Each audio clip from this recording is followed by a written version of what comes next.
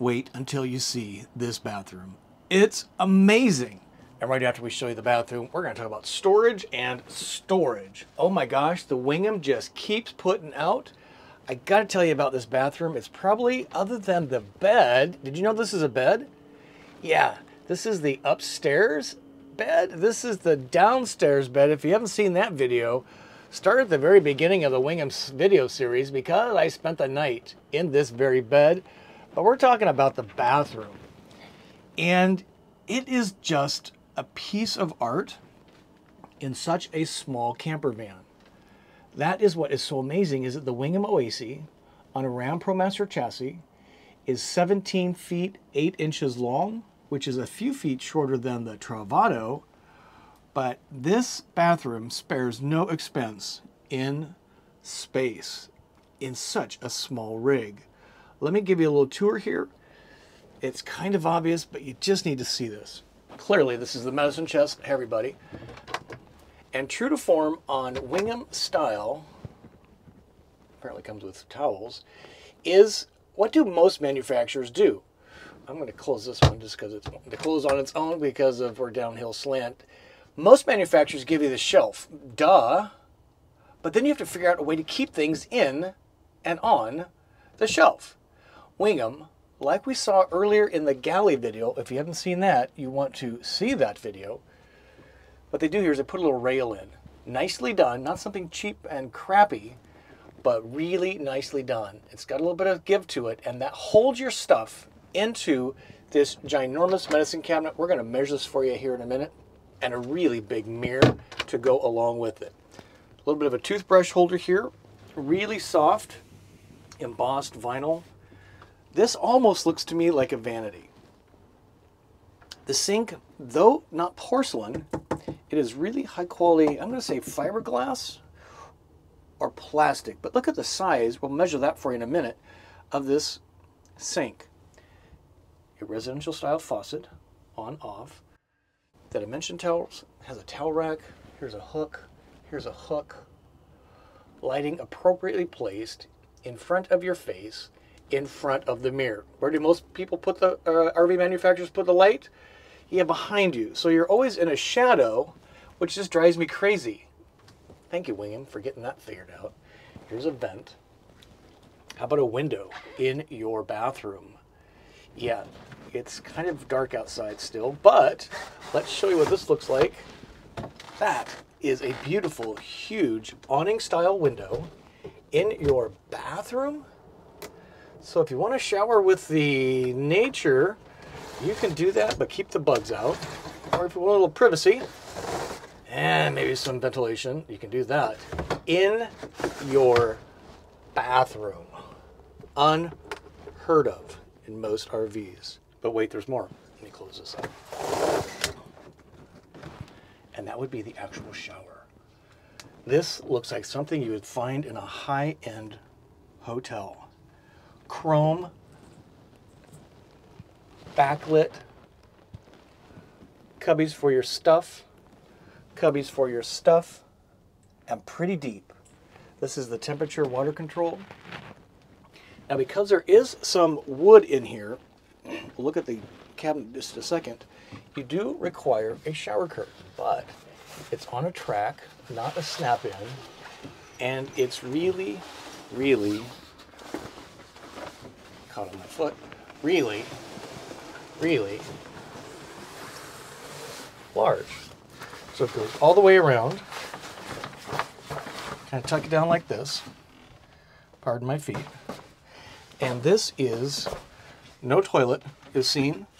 You're keeping the wood protected, keeping the door protected, and this thing is huge. So this would be your shower experience. Shower head appropriately placed, right? At you, on top of you, not like this, and not kind of wimpy installation, the don't touch it, don't break it type of thing. Um, you have lots of room in here to splash and spray, and it's really pretty amazing uh, how big this shower space is. Uh, truly is amazing, and I don't get claustrophobic in this at all, like some of the other showers, particularly with a shower curtain. And when you're done showering, you turn the water off, and you Move the shower curtain out of your way.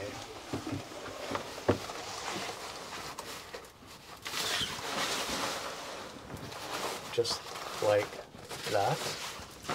It kind of tucks into the corner a little bit, I would say.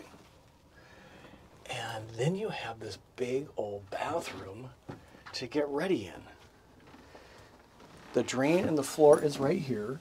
It has this mat uh, on top of the glossy plastic. You can just see that. That is really good on the foot feel. Since we're down here, let's look at this vanity. Positive locking. Ginormous. There's actually a, a throw rug for the bathroom. Here is more storage. Have you ever seen so much storage in a RV of this size before? Not me either. What we're looking at here is a Dometic brand toilet. Now what this is is five gallons, so you do your thing here, it goes into the tank down below, and then you access the tank from outside, and that's how you empty the five gallons of toilet waste. Lights, dim, dim, or brighten. And what if you wanted to have a mood lighting shower? Would that be cool? Yeah, that would be pretty cool. Now you can see the backlit really well, right? It's just stunning. I cannot believe how big this thing is. And it feels like a hotel bathroom. That's what it feels like to me. It does not feel like a micro van RV bathroom at all. And when you're done, dressed, out you go. Notice this real handle. And you open, and there you are into the great room and galley of your motorhome. Pretty amazing. But wait, there's more. This is the wardrobe. Has a snappy clip here. And this thing is huge. So here's a wardrobe bar. So your shirts hang this way on the hanger and you can stuff this thing. I'm guessing you could probably get at least, I don't know, what do you think? At least 15 shirts in here, maybe even 20. And if you want to build in a little shelf thing over here, there's tons of storage here. If your shirts go down to here, you have still all this storage down below. If you don't need a rack for a rod for your clothes, all this becomes storage. Again, you could probably install some shelving. Call your attention to the radial design here. One cool thing about Wingamm is that there's no square corners in this thing. Everything has got a curve to it. And when you close it, it just becomes almost a work of art by comparison. See kind of the waveform here? It's really beautiful. But wait, there's more. Down below here is yet more storage. This is cavernous. We'll measure that for you. So stay tuned. We're going to measure the bathroom and measure these spaces here. Just wanted to show you, again, the radial design, really lovely, integrated. And that's in addition to the storage that is accessible from the outside. All right, with that, are you ready to measure some uh, elements of the bathroom? Yeah, me too. Let me get this set up and let's get measuring. Let's start with the sink because I think this thing is just really amazing. So the circumference, is that what we call it? Well, from one end to the other end of the bowl, I am not a math major. I live in a van. 16 inches. It is literally 16 inches from one end of the bowl to the other. And the depth, I'm going to say, is at least five to six inches. Unbelievable. The whole width of the vanity part here is um, 24 inches by 20 inches. And if you include this little bit behind the toilet, this is where all of your, uh, are you ready for this? 40 inches, four zero, 40 inches of horizontal space in a bathroom for makeup, shaving products, getting ready gear, and that is stunning. So on the stool, let me just kind of measure this. From the floor to the toilet thing right here is, uh, what's that red thing say? Uh, 16 inches. It's a very comfortable height. Um, Matt's RV reviews, he's got, got the prime pooping position. I would say this would give a, get a thumb up from Matt. So if we look at the medicine chest up here, the entire length, now does have a divider in the middle, but the entire length I am going to say is, wait for it, I'm going to say is 36 inches. Three feet, ladies and gentlemen. Long by six inches deep, and you got two heights here. This one is almost eight inches. This one is, uh, let's call it uh, seven inches. So this is just, again, a humongous amount of storage. It's the little things that matter, like this little rail to kind of keep your things from falling out. Let's measure the um, height of the bathroom. So from the floor, uh, this is uh, 73 inches, which is pretty amazing. 73 inches in height. Um, what else can I measure for you here? Um, I'm just stunned by this size of the sink. If we look at the cabinet here, um, the top shelf is quite large. So let me just kind of get you a sense of that. So it's about yeah, 16 inches deep and it's about 21 inches wide and it's pretty tall. It's about 10 inches tall, so pretty amazing. Uh, the one down below has a little bit of um, some of the plumbing apparatus, so um, it's taken up a little bit, but nonetheless, it's ginormous amounts of storage in a micro RV that uh, is 17 feet long, eight, 17 feet, 8 inches long, which is a couple, almost 3 feet shorter than a Travato that's on a ProMaster van. It's pretty stunning. It's hard to describe how big and how different this feels than any other van bathroom I've been in. Um, it's not a pivot where there's that transformer wall, but I would say this would get a huge thumb up from me. I'm not a giant fan of the cassette toilet because uh, I use my toilet for all the duties.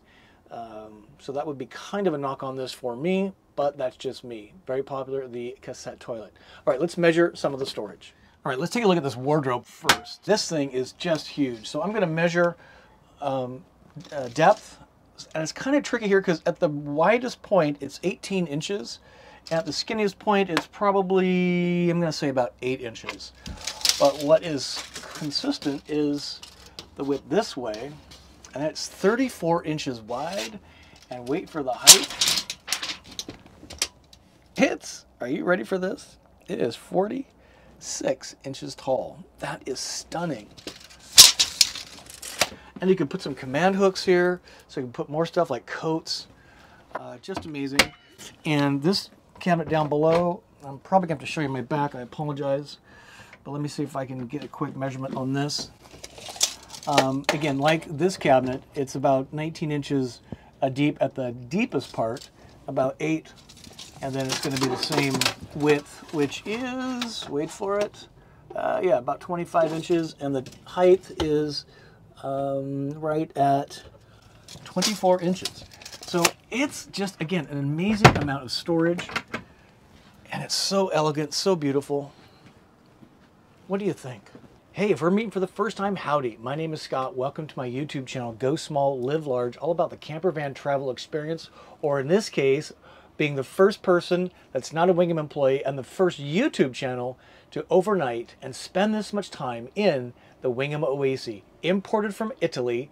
It's for sale now. They're taking orders. Price is about 145 grand plus shipping, plus taxes, licenses, and registration and options. It's a really compelling rig. I really like this on so many levels. Uh, you can get more information by emailing them directly at us at wingamm.com. We'll put that right here for you. You can ask me some questions too. And more importantly, I'd love to know what your feedback is on this rig. All right, so I hope you enjoyed that video. This is one of a series of videos we did on the Wingamm Oasis imported from Italy. You want to see the entire series, which starts with me spending the night in the bed. We want to thank you for watching. Comment below and subscribe. Let me know what you think of this kind of a rig. Is it something you're interested in? We have more videos coming up, including the differences between this and a Travato. You might be compelled to be like, what? Yeah. Until we see you soon, I wish you to journey on and peace be with you. See you later.